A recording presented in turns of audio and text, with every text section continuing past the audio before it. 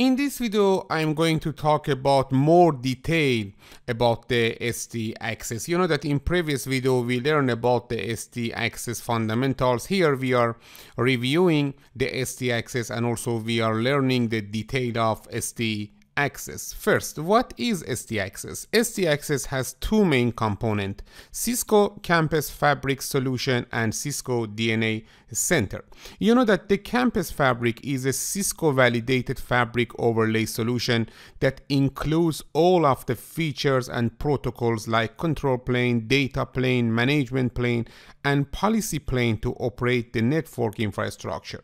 When the campus fabric solution is managed using the command line interface or CLI or an application programming interface API using network configuration protocol netconf and yang, this solution is considered to be campus fabric solution.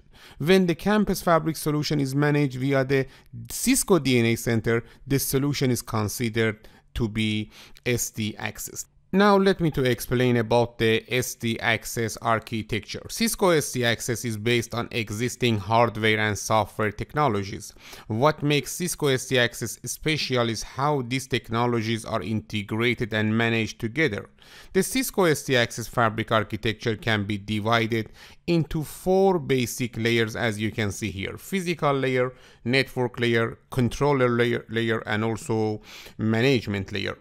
As you can see in the physical layer, we can have multiple type of devices like the switch, routers, wireless, or a wireless, uh, for example, LAN controller, lightweight access points, Cisco DNA Center, and Cisco ISE. Okay, actually, while Cisco SD Access is designed for user simplicity, abstraction, and virtual environments, everything runs on top of physical network devices, namely switches, routers, servers, wireless LAN controllers, and wireless access points or APs. All Cisco network devices that actively participate in the SD Access fabric must support all of the hardware ASICs means application specific integrated circuits and also FPGAs field programmable gate arrays. And also they should have some software requirement. Okay let me to emphasize that the following uh, uh are the physical layer devices that we can have in the SD-WAN fabric. For example Cisco switch. Switch provide wired LAN access to the fabric, okay? Multiple type of Cisco Catalyst switches are supported as well as Nexus switches. About the Cisco routers, routers provide WAN and branch access to the fabric. Multiple type of Cisco ASR 1000, ISR and CSR routers, including the CSRV and ISRV cloud routers are supported. About the Cisco wireless, Cisco wireless uh, LAN controllers and uh, access uh, points provide wireless or WLAN access to the fabric. And also about the Cisco controller appliance, Cisco DNA Center and Cisco ISE are two controller appliance uh, required. Also, let me to emphasize that Cisco access layer switches that do not actively participate in the SD access fabric, but that are part of it because of automation, okay, are referred to as SD access extension nodes. Actually, we can say in physical layer, we have switches, we have routers, wireless devices, Cisco DNA Center and Cisco ISE, okay? And also we have some SD access extension nodes and you know that uh, the extension node is a node that not actively participate in the SD access fabric, but that are part of it, okay? Because of automation, because of that we call them SD access extension nodes. The next layer is the network layer. The network layer consists of the underlay network and the overlay network. These two sub layers work together to deliver data packets to and from the network device participating in the SD access. All this network layer information is made available to the controller layer. The network underlay is the underlying physical layer and its role purpose is to transport data packets between network devices for the SD access fabric overlay. The overlay network is a virtual tunneled network that virtually interconnects all of the network devices forming a fabric of interconnected nodes. It abstracts the inherent complexities and limitation of the underlay network. Here you can see the underlay network include uh, some switches, okay, some other devices, okay. Here we have edge devices, endpoints, and this is the underlay. And also you can see after creating the VXLAN tunnels, we have the overlay network. In this overlay network, you can see only the edge nodes and also some tunnels between them. The detail of the underlay here is not, uh, for example, available. Actually, this figure shows a visual representation of the relationship between an overlay network and also the underlay network. About the underlay network, the underlay network for SD-Access should be configured to ensure performance, scalability, and high availability because any problems with the underlay can affect the operation of the fabric overlay.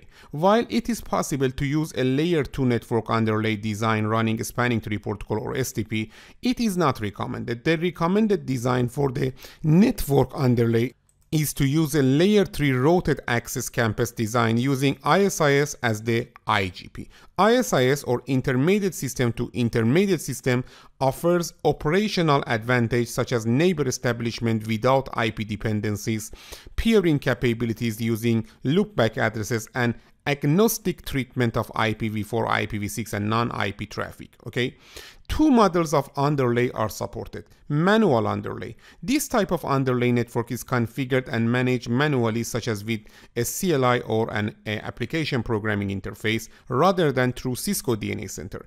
An advantage of the manual underlay is that it allows customization of the network to fit any special design requirements such as changing the IGP to OSPF.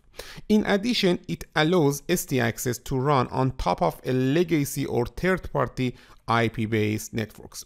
The next method of implementation of the underlay is automated underlay. In a fully automated network underlay, all aspects of the underlay network are configured and managed by the Cisco DNA Center LAN automation feature. The LAN automation feature creates an ISIS routed access campus design and uses the Cisco network plug and play features to deploy both unicast and multicast routing configuration in the underlay to improve traffic delivery efficiency for SD-Access. An automated underlay eliminates misconfiguration and reduces the complexity of the network underlay. It also greatly simplifies and speeds the building of the network underlay. A downside to an un automated underlay is that it does not allow manual customization for a special design requirement. As a result, as a summary, we can say for underlay network configuration, we have two choices, manual underlay and also automated underlay. And you know that one of the benefits of the SD access is the automated underlay. I explained these in the previous video. Here we are reviewing uh, them with a little more detail and with, a, uh, for example, more advanced features. All right, now let me to explain about the overlay network. SD-Access fabric actually okay? You can say SD-Access fabric means both overlay and underlay but in some cases we call the the overlay network as the SD-Access fabric. The SD-Access fabric is the overlay network and it provides policy based network segmentation host mobility for wired and wireless hosts and enhanced security beyond the normal switching and routing capabilities of a traditional network. In SD-Access the fabric overlay is fully automated automated, regardless of the underlay network model used manual or automated. It includes all the necessary overlay control plane protocols and addressing as well as all global configuration associated with operation of the SD-Access fabric. It means that if you configure manually or automatically the underlay, we will have auto automated overlay okay? It is not depend any dependency. It is not have eh, it does not have any dependency to the underlay configuration. It also possible to manually configure the overlay network without using dna center. However when the overlay network is managed via the cli or api using netconf and yang the solution is considered to be as to be a campus fabric solution and not sd-access because of that in sd-access uh, always we configure overlay with automated method actually automate, uh, automatically the overlay will establish but you can configure underlay and with uh, two method manual and automated As mentioned earlier, the Cisco SD-Access fabric is based on multiple existing technologies.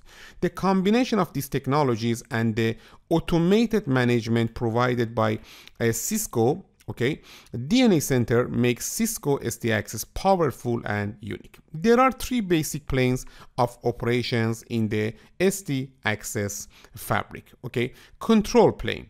Based on uh, locator id separation protocol or lisp data plane based on virtual extensible lan or vxlan and policy plane based on Cisco TrustSec. We will learn about all of them in this class. Actually, when we talk about the SD-Access, uh, here we have three plane, control plane that provided by uh, Lisp, data plane provided by, by VXLAN, and policy plane uh, provided by the Cisco TrustSec. In the previous video, we learned a little about the Lisp and VXLAN and also a little about the security. But here we will learn with more detail about these uh, uh three plane. First, let me to explain about the SD access control plane. The SD-Access fabric control plane is based on Locator ID Separation Protocol or LISP. LISP is an IETF standard protocol defined in RFC 6830 that is based on a simple endpoint ID EID to routing locator RLOC mapping system to separate the identity endpoint IP address from its current location network edge border router IP address. Okay, actually we are separating the identity from the current location of the device. Okay, Lisp dramatically simplifies traditional routing environment, environment by eliminating the need for each router to process every possible IP destination address and route it. It does this by moving remote destination information to a centralized mapping database called the Lisp Map Server or MS as you can see here this is the mapping server or MS a control plane node in the SD access, which allows each router to manage only its local routes and query the map system to local destination EIDs it means that when we receive a traffic uh, in this ITR ingress tun tunnel router only we need to ask from the mapping server or mapping resolver actually to uh, to find the routing locator of the uh, receiver egress tunnel router. Actually here you don't need to save all of the records inside of the routing table of ITR1 only we need to ask from the mapping server or mapping resolver to find the uh, routing locator of the receiver router. This technology provides many advantages for Cisco SD-Access such as a smaller routing table a dynamic host mobility for wired and wireless endpoints and address agnostic mapping IPv4 IPv6 or MAC and built-in network segmentation through VRF instances. In Cisco SD Access, several enhancements to the original Lisp specification have been added, included distributed Anycast gateway and a virtual network extranet and fabric wireless and more features are planned for the uh, future. But here we don't want to talk about all of them. Only we are uh, for example talking about the STX architecture with more detail than previous video. Step by step we will learn about the detail of SD-Access after that now we know about the SD-Access control plane and we know that here the Lisp is working uh, for providing the control plane of the uh, SDA okay let me to explain a little about the SD-Access fabric data plane the tunneling technology used for the fabric data plane is based on Virtual Extensible LAN or VXLAN. VXLAN encapsulate is IP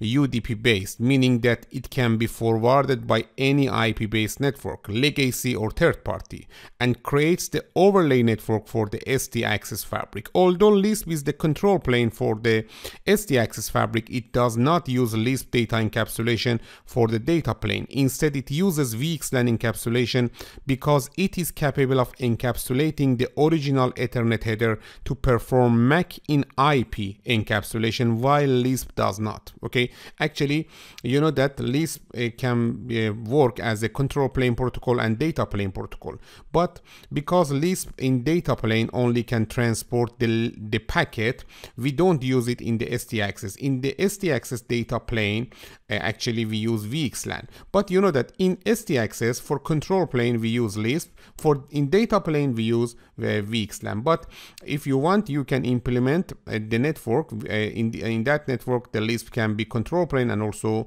data plane. The the most important difference between the Lisp and VXLAN in the data plane is that the Lisp can uh, forward can uh, encapsulate the packets, but the VXLAN can encapsulate the uh, frame. And it means that when we want to have layer 2 connectivity or both layer 3 connectivity, we can use VXLAN. Actually, VXLAN can encapsulate both frame and packet, but at Lisp can encapsulate only the, for example, packet. Using VXLAN allows an SD access fabric to support layer 2 and layer 3 virtual topologies or overlays and the ability to operate over any IP based network with built-in network segmentation VRF instance or VN and built-in group-based policies okay? Actually the differences between the Lisp and VXLAN packet formats can be illustrated with this. Uh, for example figure as you can see. We have data original IP Lisp header and here we have UDP header and uh, IP header and Ethernet header. And the, uh, here as you can see the original IP header is available and we are encapsulating the um, packet actually. But here you can look at here data, original IP, original Ethernet, then VXLAN header, then UDP, then IP and outer Ethernet header. What does it mean? We are encapsulating the frame. Also, inside of the Lisp header and inside of VXLAN header, we have some features that we can use them for different purposes. For example, here in the VXLAN header, we have VXLAN network identifier or VNI that we can use it for the segmentation in the uh, overlay. Alright, now let me to explain a little about the VXLAN and VXLAN GPO packet uh, format comparison. GPO is the abbreviation of Group Policy Option. The original uh, VXLAN specification was enhanced for SD access to support Cisco TrustSec scalable group tags or SGTs. This was accomplished by adding new fields to the first 4 byte of the VXLAN header in order to transport up to 64,000 SGT tags, okay? And after that, the new VXLAN format is called VXLAN Group Policy Option or VXLAN GPO.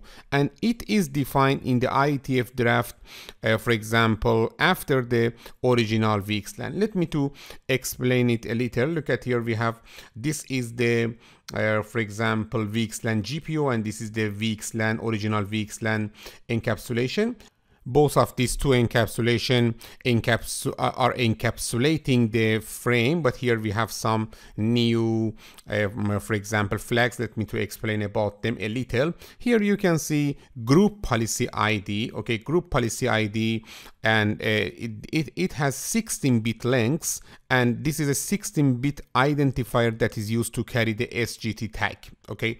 After that we have group based policy extension bit or g bit. This is the g bit. It has one bit field length okay when set to one indicate an sgt tag is being carried within the group policy id field and set to zero when it is not.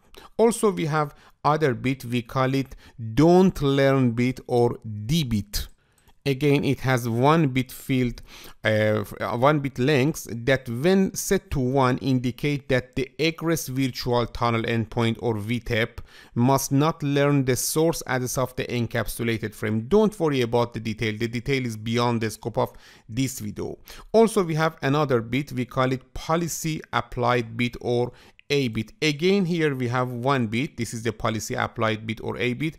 One bit field that is only defined as the A bit when the G bit uh, field is set to 1. It means that when G bit is set to 1 and here we have the option of setting the A bit to 1 or 0. When the A bit is set to 1, it indicates that the group policy has already been applied to this packet and further policies must not be applied by network devices. When it is set to 0, group policies must be applied by network devices and they must set the A bit uh, to 1 after the policy has been applied. You will learn more than this about the detail of these fields in the uh, future videos, but for now we can understand with the help of gbit, dbit and abit and also group policy ID, we, are, we have now VXLAN GPO uh, packet format and it can provide us more capabilities related to Cisco TrustSec Scalable Group Tags or SGT.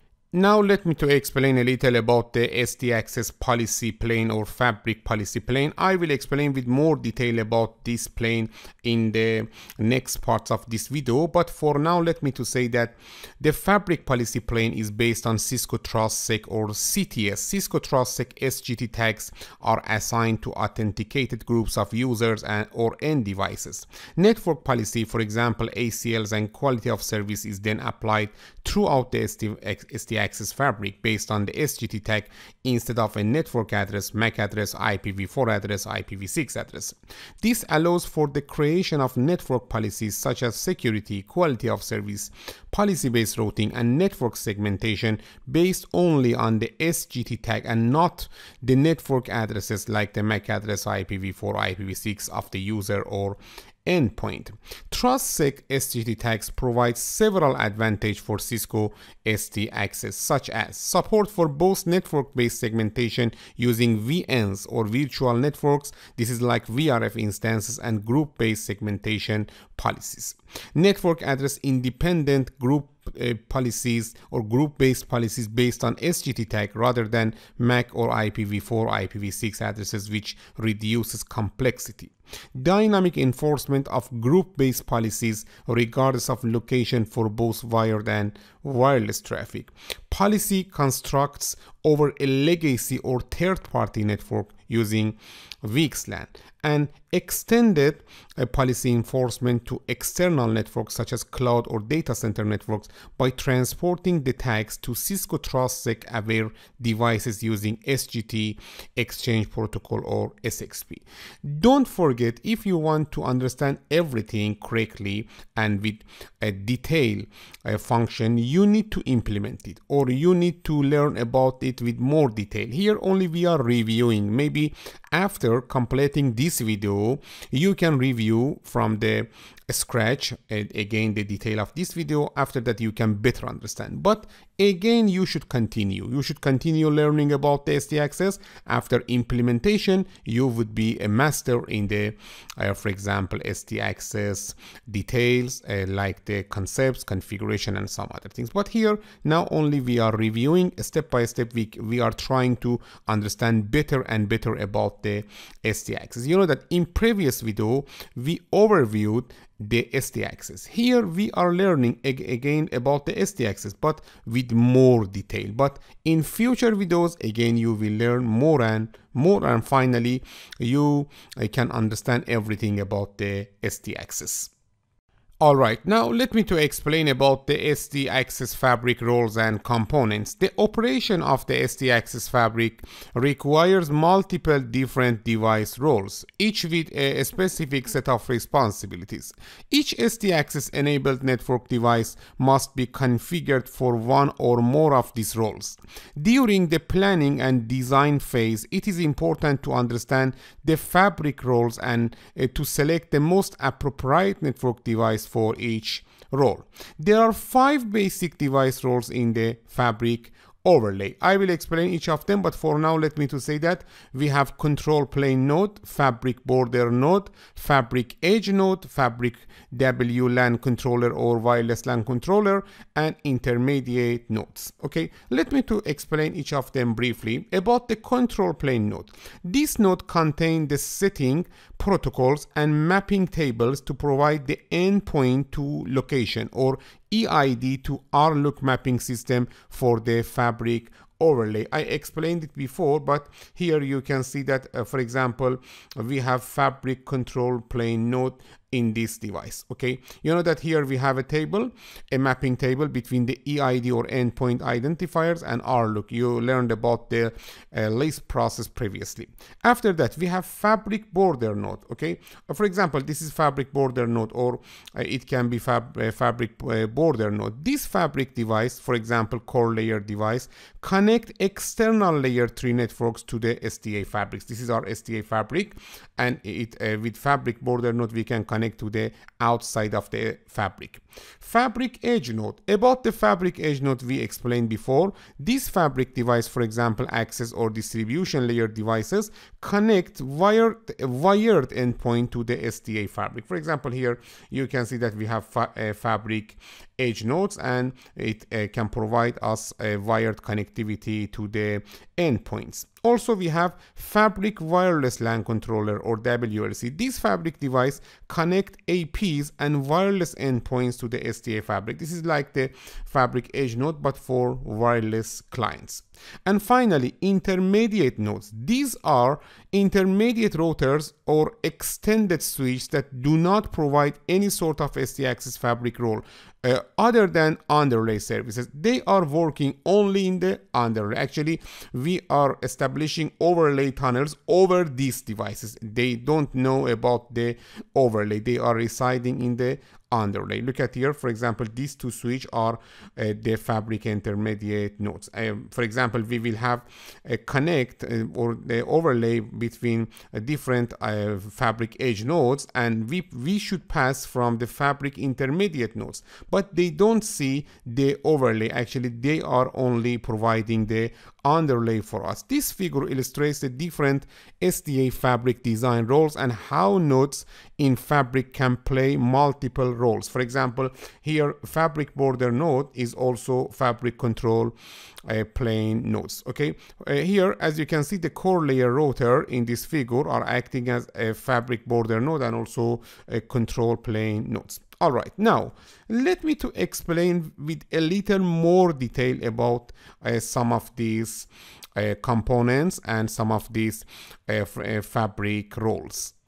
First about the Fabric Edge nodes. A Fabric Edge node provides onboarding and mobility services for wired users and devices include Fabric enabled wireless LAN controllers and APs because wireless LAN controllers should connect this uh, to these fabric edge nodes, okay, and also the access points. It is a Lisp tunnel router or XTR. XTR means both ITR and ETR means ingress tunnel router, egress tunnel router, okay. In Lisp terminology, we have two important role or two important terminology, ingress tunnel router, egress tunnel router. We receive the traffic on the ingress tunnel router. We are encapsulating the traffic to the egress tunnel router. In egress tunnel router, we are de-encapsulating the traffic, okay? It is a Lisp tunnel router, XTR, that also provides the Anycast gateway endpoint authentication and assignment to overlay host pools, uh, for example, with static or DHCP, as well as, as, well as group-based policy enforcement. Actually, uh, uh, for traffic to end uh, to fabric endpoint, we apply the group-based policy. We can say a fabric edge first identifies and authenticate wired client through 802.1x. Assume that we have one PC connected uh, to the access layer. Let me to show you. This is the fabric edge node. PC1 connected to the, uh, for example, this device. After authentication with 802.1x, okay, actually, the fabric edge node should identify this endpoint. In order to place them in a host pool, uh, or for example, after that, it can place them in the SVI switch virtual interface and also VRF instance. And a scalable group SGT assignment here after authenticating, we are assigning to this PC, to this client, one uh, scalable group tag.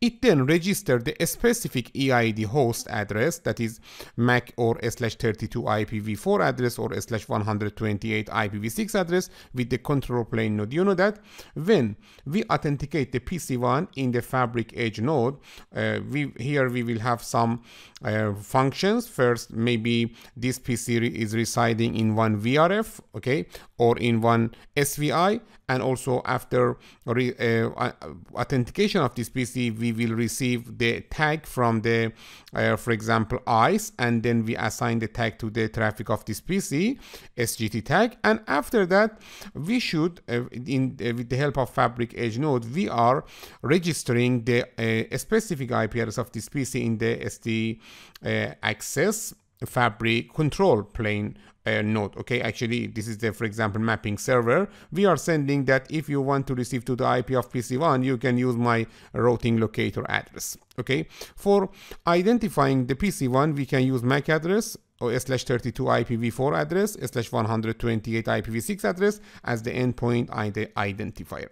A fabric edge provides a single layer 3 anycast gateway that is the same SVI with the same IP address on all a fabric edge node for its connected endpoint and also uh, perform the encapsulation and de-encapsulation of host traffic to and from its connected endpoint. Okay, it means that uh, here for anycast gateway we have one SVI interface with same IP address on all of these uh, fabric edge node and because of that each system okay can use one of these a, a, anycast a layer 3 IP addresses as its default gateway. You know that the layer 3 boundary in the SD access is uh, residing in the, uh, uh, for example, fabric edge nodes. Because of that, it is possible that from each of the VLANs, okay, we have one uh, customer, one client connected to each of these uh, switches. Because of that, we need to have the SVI interface on all Fabric Edge node with the same IP address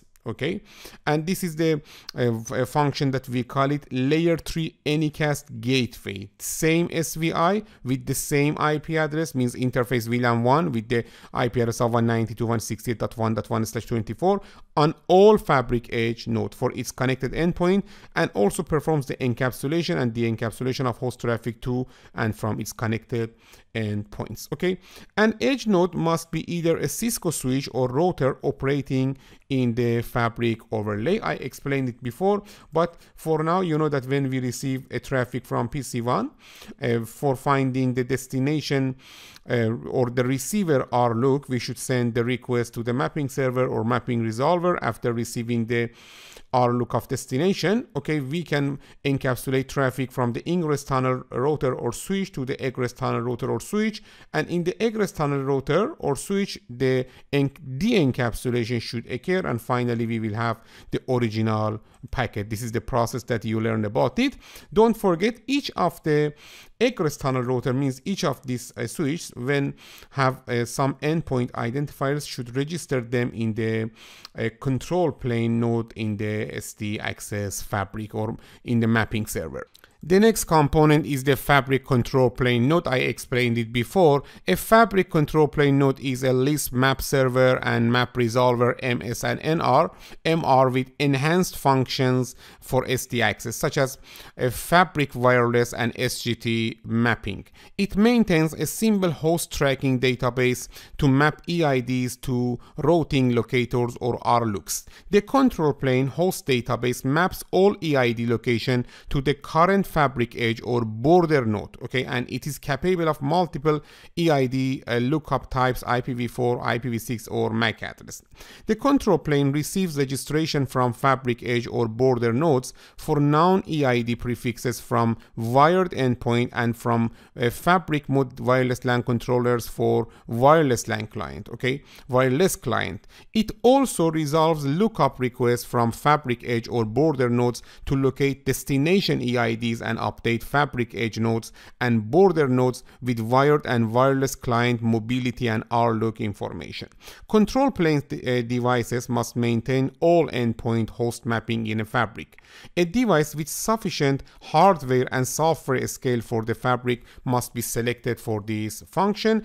A control plane node must be either a Cisco switch or a router operating either inside or outside the SD-WAN fabric. We learned about the mapping server mapping resolver in the previous video briefly and we will learn about it with more detail in future. The next role is the fabric border nodes. Okay, fabric border nodes are Lisp proxy tunnel routers or PXTRs. PXTR means proxy ingress tunnel router, PITR, or proxy egress tunnel router or PETR. We call them PXTR, okay, that connect external layer 3 network to the SD access fabric and translates reachability and policy information such as VRFs and SGT information from one domain to another.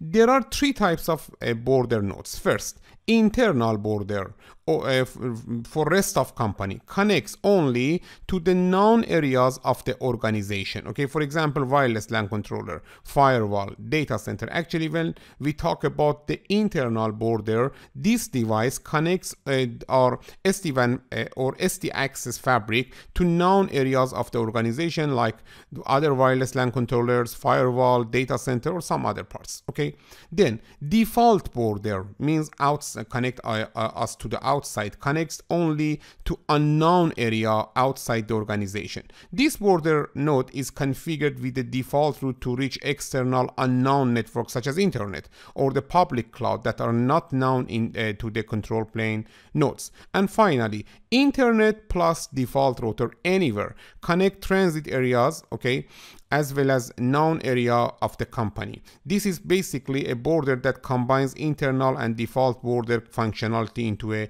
single node. Actually, here you can see that we have internal border because it is connected to the server farm DC or network services. Actually, our fabric with the help of this fabric border node and this fabric border node uh, connected to the known area. But if you connect to the unknown area like the cloud, like the, uh, for example, internet, this will be the default router because here we need to configure only a default route.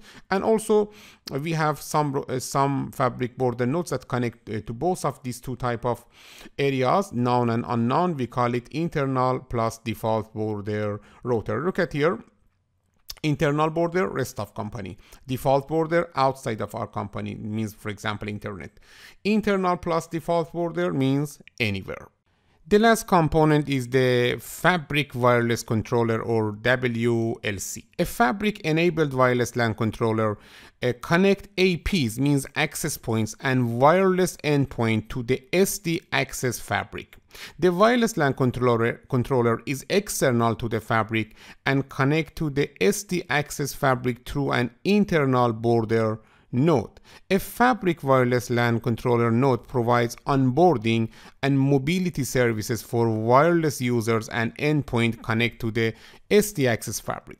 A Fabric Wireless LAN Controller also perform PXTR, means PITR and also PXTR registration to the Fabric control plane on behalf of the Fabric Edge and can be thought of as a Fabric Edge for wireless client. The control plane node maps the host EID to the, uh, to the current fabric access point and fabric edge node location the access point is attached to okay? In traditional wireless deployment the wireless LAN controller is typically centralized and all control plane and data plane wireless client data okay? Traffic needs to be tunneled to the wireless LAN controller through the control and provisioning of wireless access points or CAPWAP tunnel in SD access, the wireless control plane remains centralized, but the data plane is distributed using VXLAN directly from the fabric-enabled APs. It is so uh, important for us. Look at here this is the traditional, as you can see, the left figure is a traditional wireless. When one wireless client sends the traffic and this traffic received by the access points, traffic will be tunneled to the wireless LAN controller with the help of CAPWAP data tunnel. And after that, again, it will be a tunnel to the egress, uh, for example, access points and the traffic after the receiving this access point, the encapsulating. And it means that we should tunnel all data packet to the wireless LAN controller. And oh, after that again the, from the wireless LAN controller it, the traffic should be a tunnel to the wireless uh, for example access, uh, wireless user okay? But here we have different condition as you can see. About the control plane we don't have any difference. But about the data plane as you can see when we receive traffic in the access point okay this access point traffic will be tunneled with VXLAN okay to the egress uh, AP okay? Actually this figure illustrates a traditional wireless topology compared to an SD access wireless deployment as you can see fabric APs establish a VXLAN tunnel to the fabric edge to transport wireless client data okay, through uh, tra traffic through the VXLAN tunnel instead of the CAPWAP tunnel. Actually, here for control for control traffic, again we use CAPWAP in the SD-WAN. Look at here. In traditional wireless, we have two CAPWAP tunnel. First, one CAPWAP tunnel for control plane and one for data plane. But here, as you can see, we have CAPWAP tunnel for control plane traffic between the access points and wireless LAN controller. But for data plane, we are using directly VXLAN tunnel and it has uh, efficiency in compared with the traditional, uh, for example, wireless. For this to work, the AP must be directly connected to the fabric edge or a fabric extended node. Using a VXLAN tunnel to transport the wireless data traffic increases performance and scalability because the wireless client uh, data traffic doesn't need to be tunneled to a wireless LAN controller via CAPWAP, as in traditional wireless deployment because the routing decision is taken directly by the fabric edge. You know that here the fabric edge with the help of mapping server or mapping resolver directly can identify where should the traffic uh, tunnel and because of that here we don't need to forward the traffic to the wireless LAN controller with the uh, for example CAPWAP tunnels. In addition SGT and VRF based policies for wireless users on fabric SSIDs are applied as at the fabric edge in the same way as for wired users. Wireless client or SSIDs use regular host pools for traffic and policy enforcement, the same as wired client, and the Fabric Wireless LAN controller registers client e EIDs with the control plane node, okay, as located on the, uh, for example, edge. Okay, don't forget here we have many details that uh, I don't want to talk about all of them in this video. For now, we should understand that in traditional wireless, okay, we uh, we have two type of CAPWAP tunnel, uh, one for the control, one for data between wireless LAN controller and the uh, access points. But here we have the two tunnel. First, the CAPWAP tunnel between the access points and wireless LAN controller for control traffic, control plane traffic. And also, for example, we want to manage these access points, okay?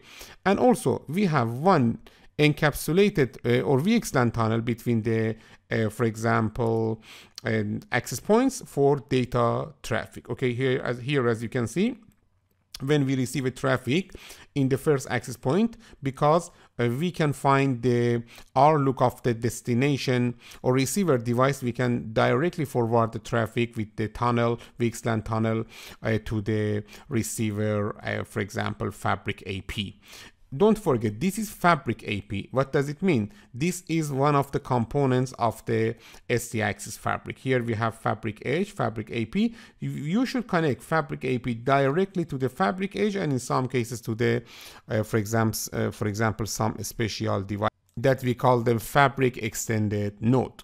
Now we can better understand the five basic device roles in the uh, Fabric overlay. Control plane node, Fabric border node, Fabric edge node, Fabric wireless LAN controller, and intermediate nodes.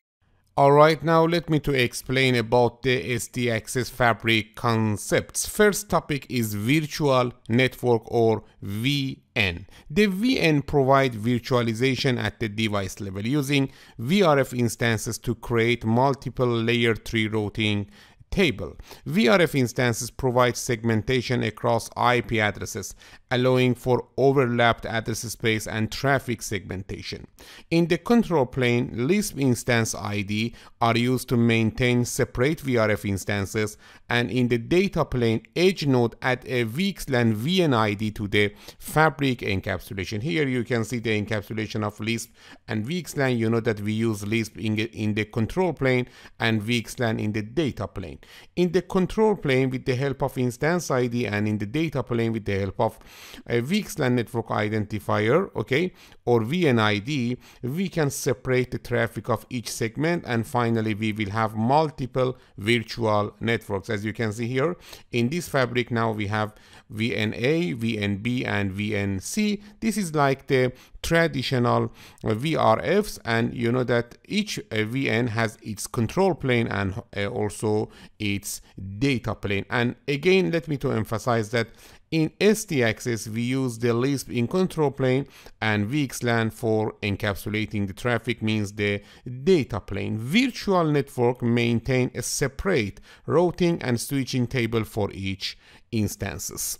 The next SD-Access fabric concept is the host pool. A host pool is a group of endpoint assigned to an IP pool subnet in the SDA access fabric. Fabric edge nodes have a SVI or switched virtual interface for each host pool to be used by endpoint and users as their default gateway. It means that here, for example, in this edge or in this edge node, we can configure multiple SVIs, for example, SVI interface VLAN 1, interface VLAN 2, and interface VLAN 3. Each of them, okay, uh, has uh, one specific IP address, and this is the default gateway of some of the computers or some of the devices connected to uh, that uh, Fabric Edge node, okay?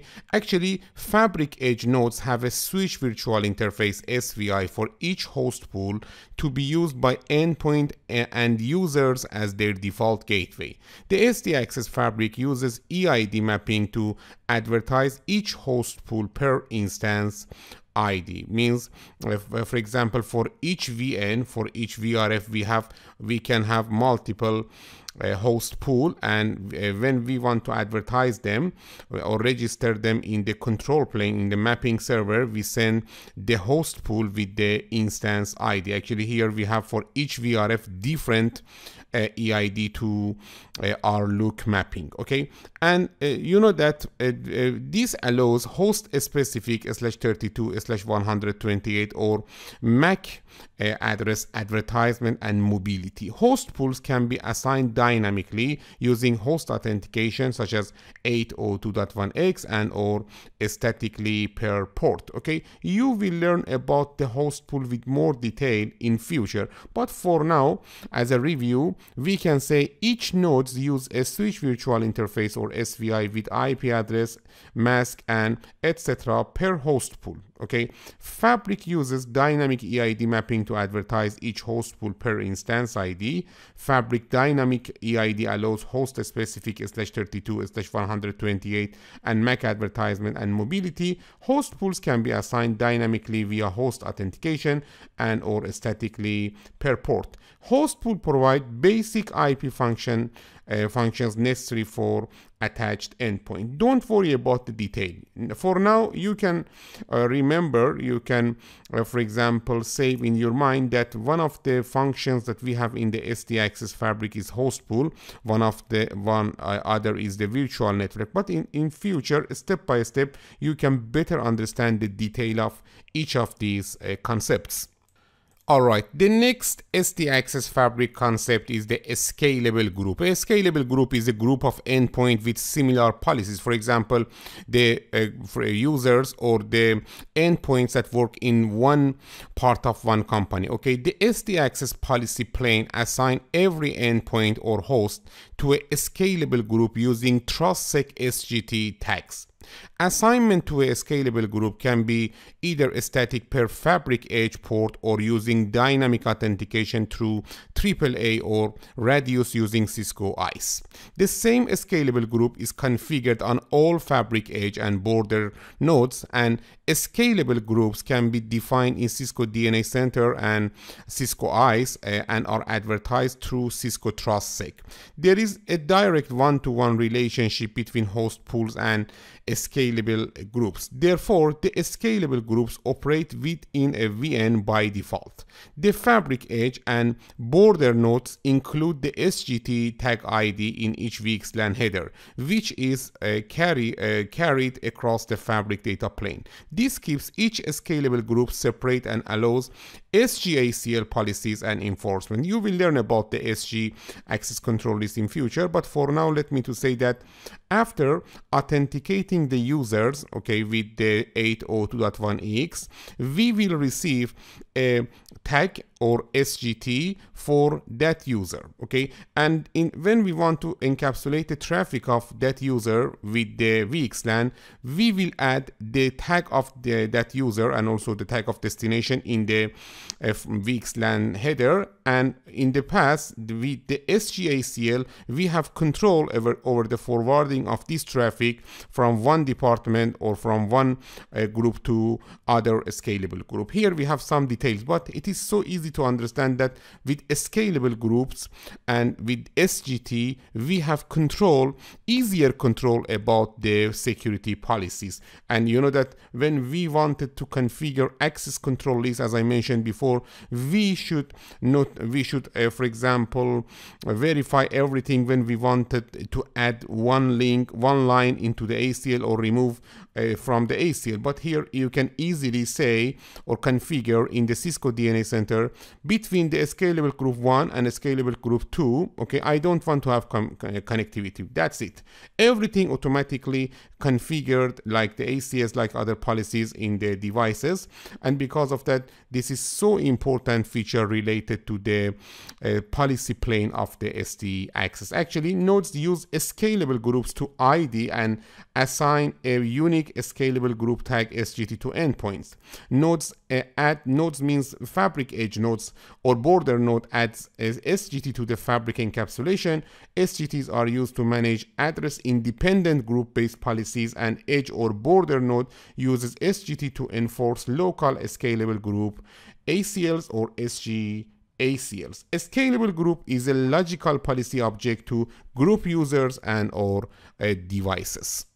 The next SD-Access Fabric concept is the Anycast Gateway. The Anycast Gateway provides a pervasive layer 3 default gateway where the same SVI is provisioned on every edge node with the same SVI IP and MAC address. It means that, for example, we can configure interface VLAN 1, okay, in all of the edge nodes with the same IP address, okay. This is the Anycast gateway. This allows an IP subnet to be stretched across the SD-Access fabric. For example, if the subnet 10.1.0.0/24 is provisioned on an SD-Access fabric, this subnet will be deployed across all of the edge nodes in the fabric and an endpoint located in that subnet can be moved to any edge node within the fabric without a change to its IP address or default gateway. Uh, this essentially stretches this subnet across all of the edge nodes throughout the fabric, thereby simplifying the IP address assignment and allowing fewer but larger IP subnets to be deployed. In essence, the fabric behaves like a logical switch that spans multiple buildings, where an endpoint can be unplugged from one port and plugged into another port on a different building. And it will seem as if the endpoint is connecting to the same logical switch, where it can still reach the same And other endpoints in the same VLAN. Actually, Anycast gateway provides a single layer 3 default gateway for IP capable endpoints. Okay, similar principles and behaviors as HSRP, VRRP with a shared virtual IP and MAC address. The same switch virtual interface SVI is present on every edge with the same virtual IP and MAC address. Control plane with fabric deployment, uh, fabric dynamic EID mapping creates a host endpoint to edge relationship and when a host moves from edge 1 to edge 2 it does not need to change its default gateway this is the anycast gateway Alright, until now we learned about the physical layer, network layer of the SD access. Now let me to explain with more detail about the controller layer, okay? As you can see in the controller layer, we have DNA center and also ISE. But DNA center include two part or two component, NCP or network control platform platform and NDP network data platform and also ISE is the identity service engine.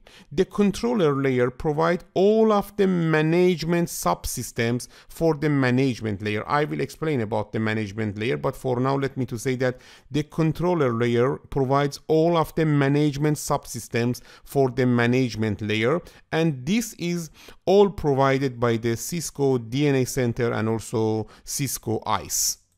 This figure illustrates the different components that comprise the controller layer and how they interact with each other as well as with the campus uh, fabric as you can see here here we have cisco dna center. The version is not important. And also as you can see here we have two part network control platform or ncp and network data platform or ndp okay let me to explain about them. First about the network control platform or ncp or the automation part. Okay this is the ncp okay?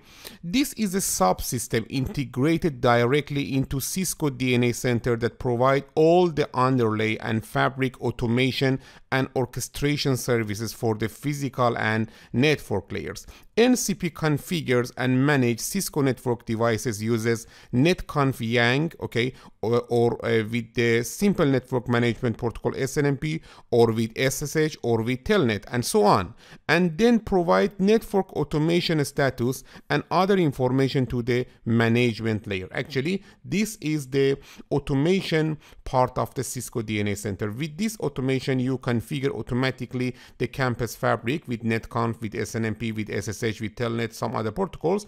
And finally, we are providing the accessibility, okay, to the campus fabric, fabric to the Cisco DNA Center. The next part, as you can see, the next component is the NDP or Network Data Platform or Assurance part. NDP is a data collection and analytics and assurance subsystem that is integrated directly into Cisco DNA Center.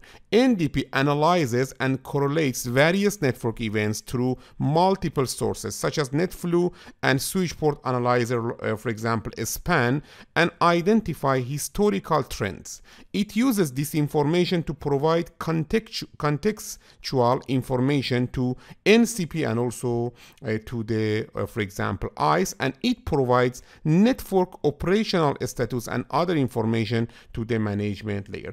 NCP should uh, configure the network and provide the network for the Cisco DNA Center. And here, the NDP uh, should gather information about the um, different features of the campus fabric, okay, and provide it for the Cisco DNA Center. Also here, we have some other details. Don't forget, NDP also has some relations with the NCP. Actually, it provides some information uh, for the network control platform. Also here, as you can see in the controller layer, we have identity service engine or ISE. This is the identity and policy part of the controller layer. Okay. About the basic role of the ISE, we can say the basic role of ISE is to provide all the identity and policy services for the physical layer and network layer okay? ISE provides network access control and identity services for dynamic endpoint to group mapping and policy definition in a variety of ways including using 802.1x or MAC authentication bypass MAB and web authentication for wireless clients okay? Web authentication. ISE also collects and uses the contextual information shared from NDP and NCP and other systems such as Active Directory and Amazon Web Services. ISE then places the profiled endpoint into the co uh, correct scalable group and host pool. It uses this information to provide information to NCPN NDP. So the user management layer, okay, user in the management layer can create and manage group-based policies. ISE is also responsible for programming group-based policies on the network devices. Cisco ISE and the DNA Center, NCP and NDP integrate with each other to share contextual information through APIs between themselves. And this contextual information is then provided to the user management layer. The NDP subsystem shares contextual analytics information with Cisco ISE and NCP subsystem and provide this information to the user in the management layer. The NCP subsystem integrate directly with Cisco ISE and NDP subsystems to provide contextual automation information between them. And Cisco ISE integrates directly with Cisco NCP and NDP subsystem, Cisco DNA Center to provide contextual identity and policy information. All right, the next layer is the management layer. The Cisco DNA Center management layer is the user interface or user experience UI UX layer where, where all the information from the other layers is presented to the user in the form of a centralized management dashboard. It is the intent-based networking aspect of the Cisco DNA. A full understanding of the network layer, Lisp, VXLAN, and Cisco TrustSec, or controller layer Cisco NCP, NDP, and ISE is not required to deploy the fabric in SD-Access. nor is there is a requirement to know how to configure each individual network device and feature to create the consistent end-to-end -end behavior offered by SDAccess. The management layer abstracts all the complexities and dependencies of the other layers and provide the user with a simple set of GUI tools and workflows to easily manage and operate the entire Cisco DNA Center, hence the name Cisco DNA Center. Cisco DNA Center applications are designed for simplicity and are based on the primary workflows defined by Cisco DNA Center, design, policy, provision, and assurance. Alright, now let me to explain about the Cisco DNA design workflow. The Cisco DNA design workflow provides all the tools needed to logically define the SD access fabric. The following are some of the Cisco design tools, network hierarchy, network setting, image management or image repository, and also network profiles. Let me to explain a little about each of them. First, network hierarchy. We use the network hierarchy to set up geolocation, building, and floor plan detail and associate them with a unique site ID about the network setting. We use to, it to set up network servers such as DNS servers, DHCP servers, AAA servers, device credential, IP management, and wireless setting. About the image repository or image management, we use it to manage the software image and or maintenance update, set version compliance and download and deploy images. And about the network profiles, we use it to define LAN, WAN and WLAN connection profiles such as SSID and apply them to one or more sites. This figure illustrated DNA Center design workflow on the DNA Center uh, dashboard we can see the network hierarchy, network setting, image management or image repository, and also network profiles about the SDA policy or Cisco DNA policy workflow, okay, it provides all the tools to logically define Cisco DNA policies. The following are some of the Cisco DNA policy tools that we have. For example, we have the option of virtual networks. Used, it used to set up the virtual networks or use the default uh, virtual network and associate various scalable groups. Access control. Access control or group-based access control used to create group-based access control policies, which are the same as SGACL. Cisco DNA Center integrate with Cisco ISE to simplify the process of creating and maintaining the uh, scalable access groups. Also, we have application priority or application registry part. It used to configure QoS in the network through application uh, policies, okay, with application priority. Also uh, here we can see the uh, traffic copy used to configure encapsulated remote switch port analyzer or ERSpan to copy the IP traffic flow between two entities to a specified remote destination for monitoring or uh, troubleshooting purposes. Also, dashboard used to monitor all the VNs or virtual networks, scalable groups, policies, policies and recent changes. The next workflow is the Cisco DNA provision workflow. Okay, the Cisco DNA provision workflow provides all the tools to deploy the Cisco SD Access fabric.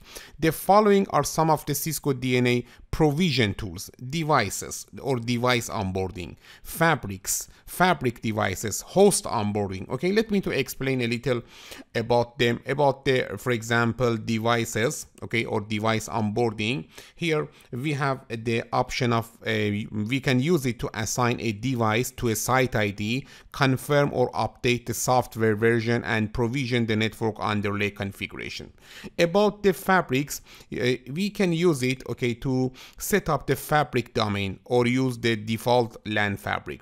About the fabric devices or fabric administration, we can use it to add devices to the fabric domain and specify device roles such as control plane, border node, edge node, and wireless LAN controller. And about the host uh, onboarding, we use it to define the host authentication type, static or dynamic, and assign host pools, wired and wireless, to various uh, virtual networks. Don't forget, here only we are reviewing. For understanding the detail, we should learn about the configuration in future videos.